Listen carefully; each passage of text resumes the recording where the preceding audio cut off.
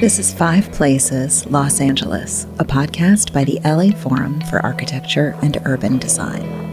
I'm Emmanuelle Bourlier, and in each episode, I ask one inhabitant of Los Angeles about the five places that define the city for them. You may recognize some of the people I ask and some of the places they mention, but in the making of this living documentary of the city, we will discover new people and places, and most importantly, their stories.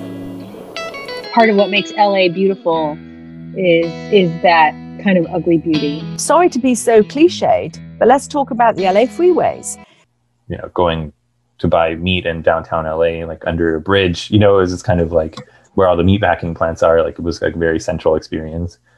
I moved to LA because of Godzilla. that is a great story. The skate park was that place after school that we could go to that we were pretty much allowed to our own like devices and I just find it one of the most iconic restaurants in LA, just that sunken bar, the kind of career waiters, um, the style of old school food, you know, the blue cheese olive martinis. I mean, the the booths. I just live for like a martini in a booth. I found out that it was Led Zeppelin's party house. I came of age in LA. You know, I came, became a teenager. I, I, went to all ages discos in the 70s, you know, in various scenes in the 80s and 90s. This music scene is is kind of like um, related to the birth of West Coast jazz.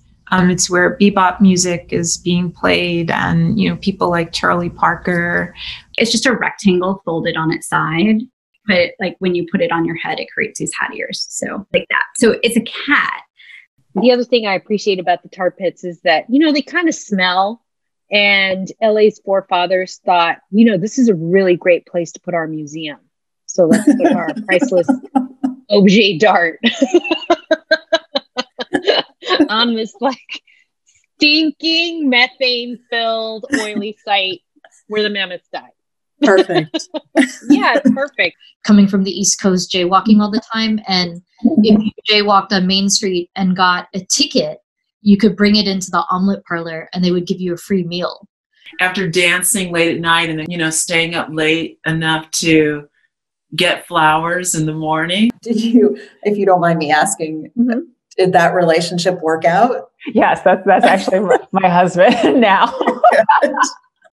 like there's places that you go to that just feel like they haven't changed and they're dying, whereas this place feels like you found a pocket in time. It's a really great question. Well, I'm is, eager is to One we should go into. Yes. Okay. Let's, okay. let's get into the five places.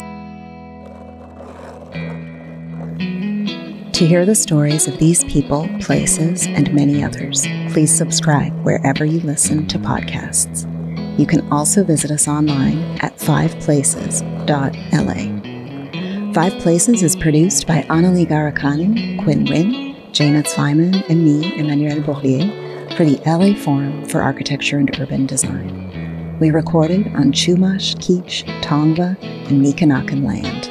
Special thanks to Nina Briggs, Jessica Fleischman, Bee Murphy, and Anne Predock. Thank you for listening.